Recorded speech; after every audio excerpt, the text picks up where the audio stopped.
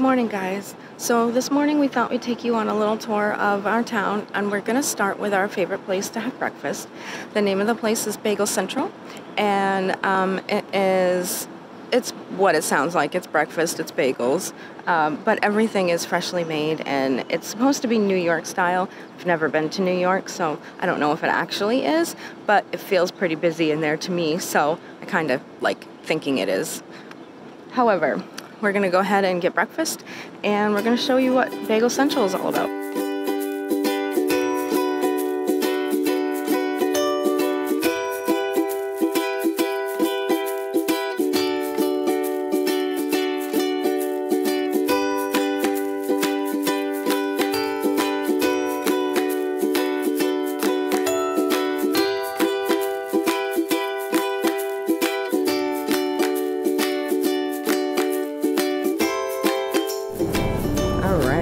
Some coffee going on. I love coffee. I'm super excited for coffee. That's the favorite part of the morning is coffee. It just has to be good. And they have such good coffee.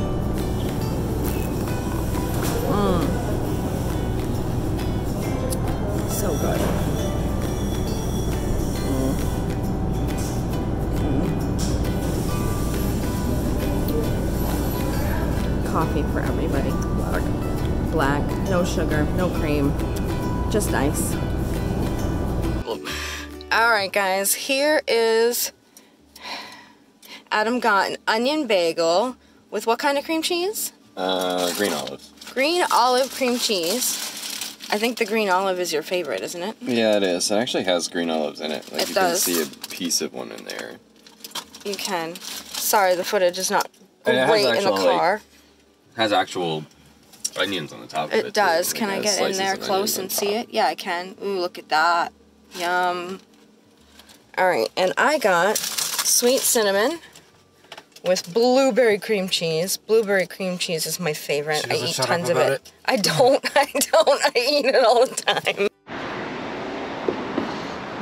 This is one of the parks here in downtown. Really nice walk-in path, especially like uh, for Pokemon Go and any of those like type. There's a lot of stuff that comes in down through here. All these are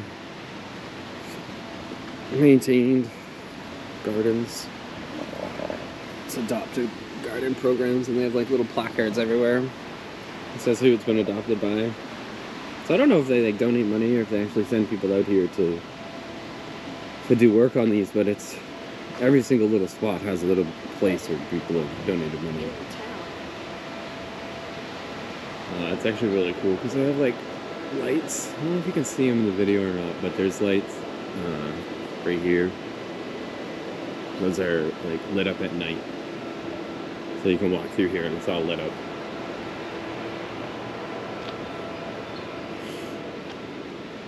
There's Jamie behind us. She's recording.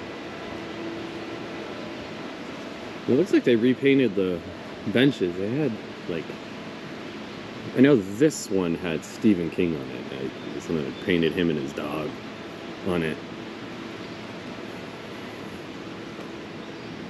It's a great little area. This is a good spot to show you guys too. Like we're in between. I'm gonna try not to step on any of the flowers or anything and just reach over. But if you look, there's a nice like cast iron fencing here that's covering up the stream. I saw the stream down there. And then if I turn immediately around to the statue, take a quick walk over here, and see that we're coming up on the same type of gateway or same type of gate gating system, all cast iron, and then on this side is another stream. They're actually the same stream.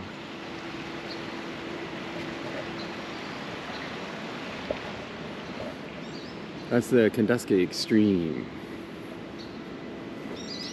It's also a um, goes into the Penobscot, which is the tidal river. So it, the level of that stream goes up and down constantly.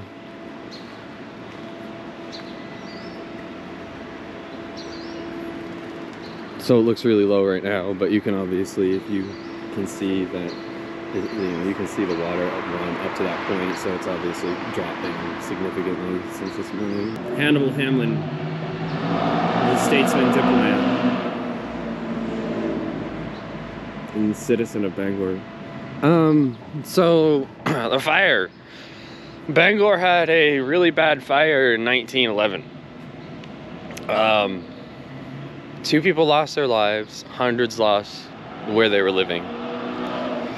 I guess, from what I understand, um, Bangor had uh, fire experts come in here before 1911 and did a like survey, and they said that from where the the fire started, which was on Center Street, um, that a really bad fire could start and spread from there and like wipe out the most of downtown. I'm shivering. It's really cold. Uh, let's go stand in the, the sun. Sure, we can stand in the sun and talk about fire.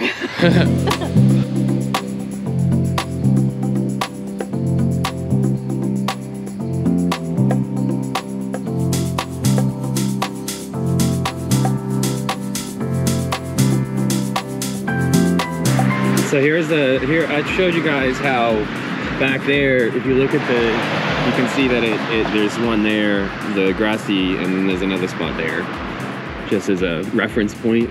But they come together right here. I'm actually gonna walk over to that bridge right there, and I'll show you guys a little bit better.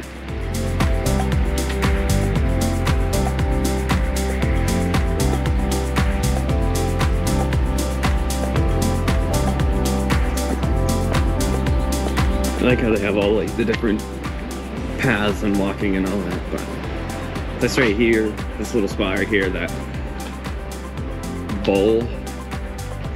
That's a focus. That's a, a gym for Pokemon Go. Charles Ohio.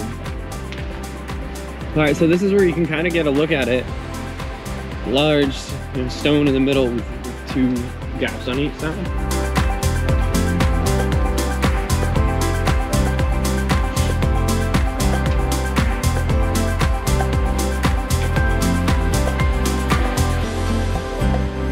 So, back to the fire.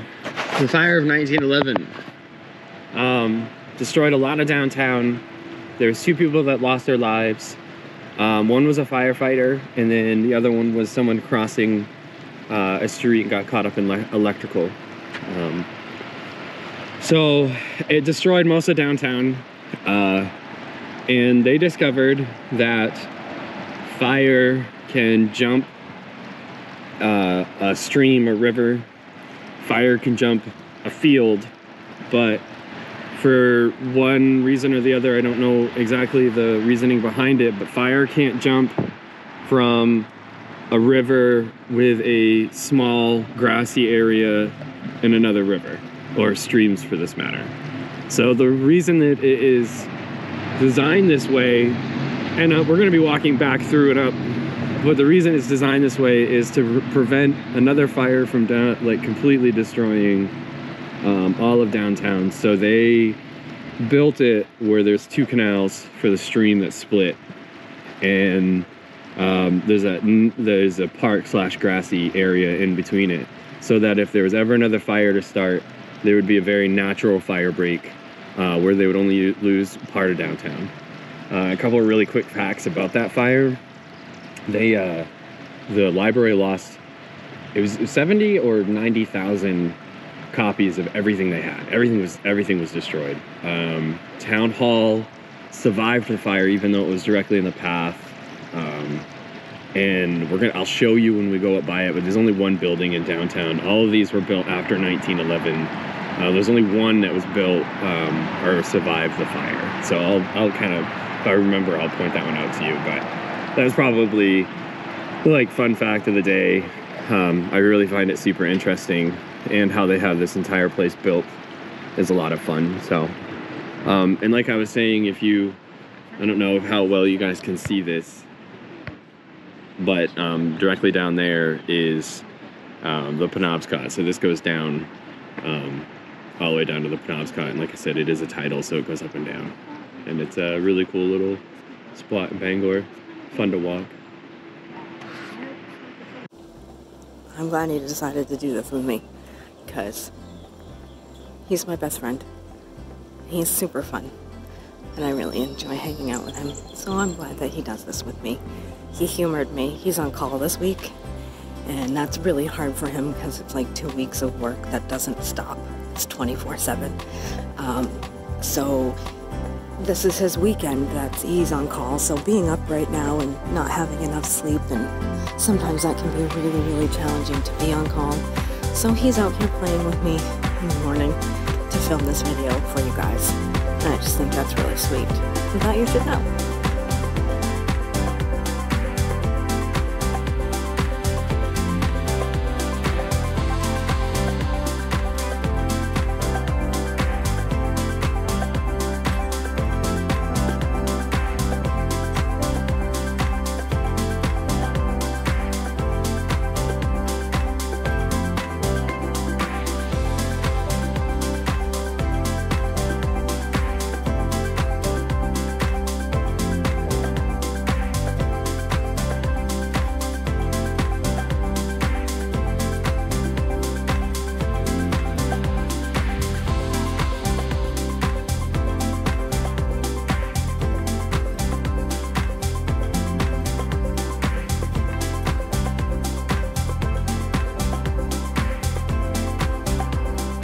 Zillman Art Museum, University of Maine puts this on.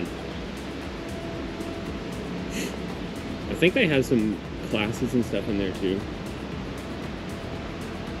Or maybe it's just students going in and out. Very cool sign. And that's the entrance to it when it's open.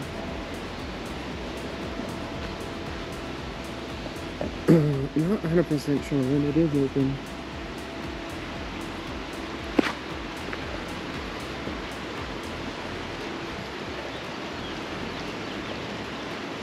Still have to wear a mask to go inside.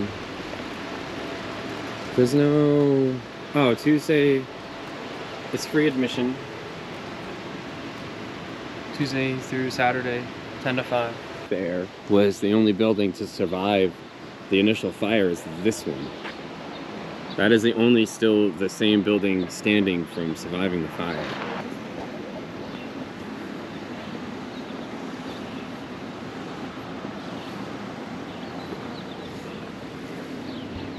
Just cross the road there, and that's the same thing. Like the, this is still split. It's all the, still the same canal with this in the middle.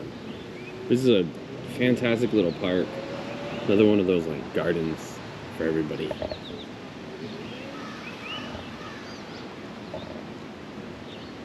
That's uh, called Lady Liberty, the statue that's coming we're coming up on.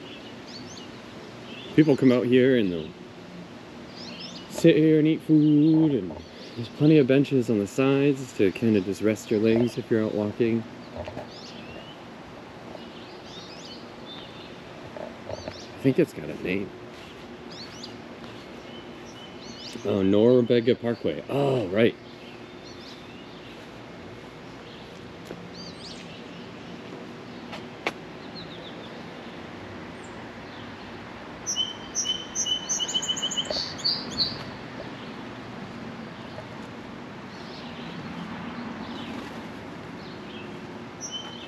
That's a cool little display.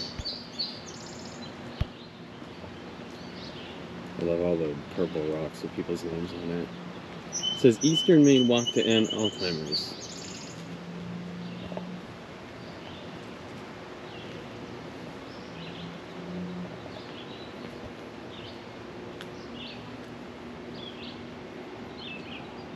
Bangor does a really good job maintaining this. All of the different.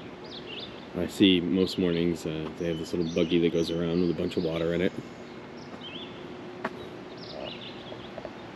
Love it.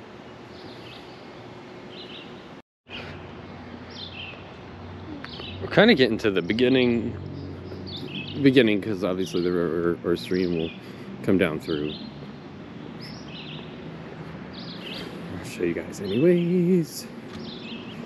So this is the beginning of it. This is where, like, obviously you can tell this part right here is where they first started it, and um, then it goes down into, you know, sp- splits this Kenduskeag stream into two, down through downtown.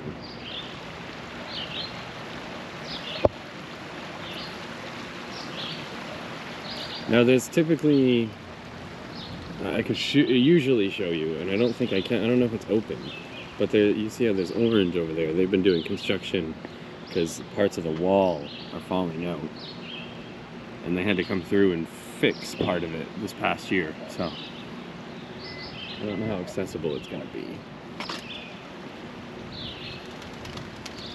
See how there's like those down there. Assume that they're gonna fix those this year. Because if not, it falls out, and you know that's the jail up above it. So looks like the walking path is accessible, so I can walk down it briefly for you guys. Kenduskeag Stream Trail. It does have the sign still, but it's not up right now. I just wanted to show you how it was split.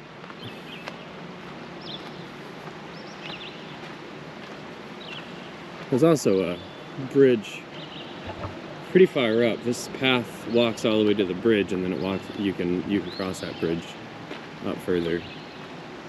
But I kind of just wanted to get to this point, show you guys the the beginning of the split. How that's splitting the stream. Gonna actually walk back across the street and then up towards the library um, just to kind of show you guys. The library is, is gorgeous. It actually used to, I want to say maybe four or five years ago, could be shorter than that. I could be a little bit off. Um, they had to fully replace their roof and it's copper. So the roof was was green for the longest time. It was really cool. And then they had to come in with a very large um, a lot of donations. A lot of people came in and, and gave them money.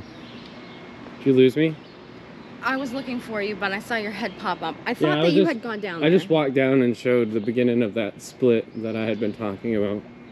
These are new buildings. Like this is not a new building but they just turned these into uh, very luxury apartments they will typically hold a farmers market here. I believe that's today.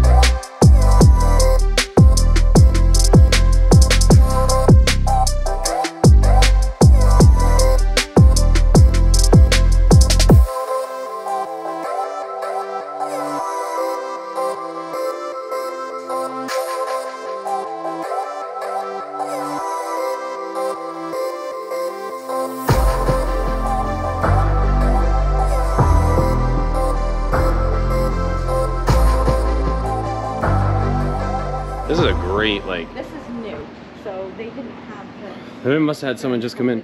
Uh, it smells very This new. is brand new, guys. Like this is very new. Look, and here's their sign of what's going on. Everyone welcome. Drag Queen Bingo. Oh bingo goodness. hosted by Priscilla Priscilla Poppycock. Poppycocks. That's so cool. That is fantastic. I love it. Birds and balloons. Tattoo studio and art gallery. That's new. That's new too. Look at all the places I was talking about that. I was talking about that. Um, the reason, like I was saying, that it's really cool and kind of sad at the same time because businesses that were barely hanging on before the pandemic um, died to the pandemic and um, has allowed new businesses and new people to kind of come in with new ideas and, and, and rebuild and rebrand and, and that kind of gives us more more new things more to experience so. Taste of india. If you like indian food this is where you go. Very very very fast food. Um, ordered that one day through grubhub and got it very very quickly. This is the yeah we discovered very much that we do not like indian food. This is the Maine discovery museum. This is actually really cool. This is one of the rooms they have. I don't know Yeah, it looks like that room's closed off, but this is a whole water feature room thing that they have that you can mess around with different. Oh, front. This is the Maine Discovery Museum. Really good for kids. Um, I would say, I would say, well, no, obviously older than that. I would say somewhere, probably. Infants aren't going to, but a kid that's up up and running around, so you're talking probably three plus to somewhere around nine, ten, maybe eleven. Maybe that's. Well, because you have some things upstairs that are more um, interactive. Yeah. So they do have a little like restaurant fork and spoon eatery thing in here too. ice cream, soups, and breads. Uh huh. Whoopie pies. Whoopie pies. If you don't know what a whoopie pie is, it's like two pieces of cake and some frosting on it, but it's way better. You, you, yeah, you like it, it's like taking a cake and making a, a, a sandwich out of the cake. We'll have to buy one for you sometime and show you what. Oh man, that sounds awful. Birdhouse? Playhouse? Dollhouse? It looks like a I'm dollhouse. not entirely sure. No, it's a dollhouse. It has small- Fairy house? You could put it up. It's a dollhouse. It's got furniture in it. Oh yeah, and it has the open side. That is really pretty, guys. Oh my gosh, that's so great. Portland Pie Company, very very good pizza and pub.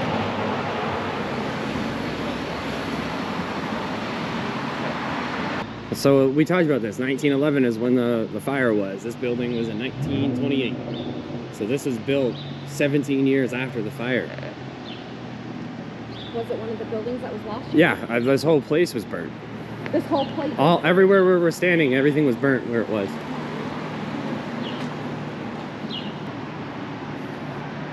Look at this antique place. That's really cool.